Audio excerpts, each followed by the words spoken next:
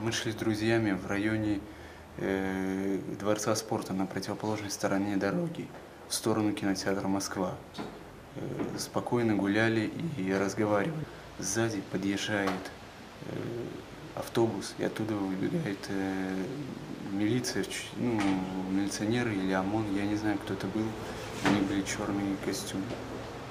Они э, побежали за нами и начали хватать, э, э, собственно, всех подряд, затолкали всех в автобус, в автобусе нас избили.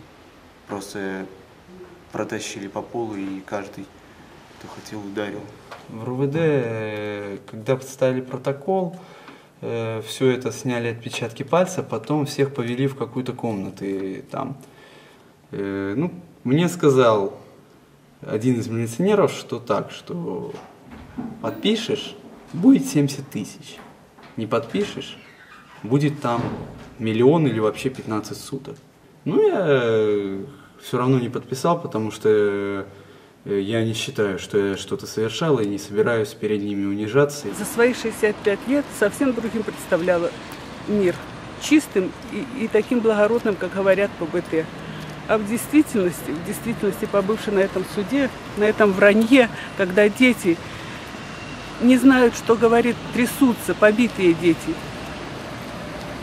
И я не знаю, как назвать этих головорезов, говорившихся.